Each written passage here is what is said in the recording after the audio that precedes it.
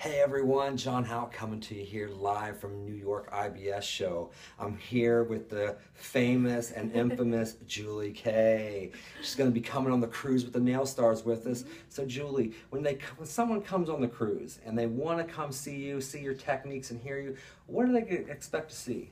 Um, well, you know, I work with celebrities and everything like that in New York City, so I'm going to talk a lot about what that's like. And maybe if you want to get into doing some kind of work like that, we can yeah. chat about that. We can talk about portfolio building and um, maybe some other surprises too. So we'll see.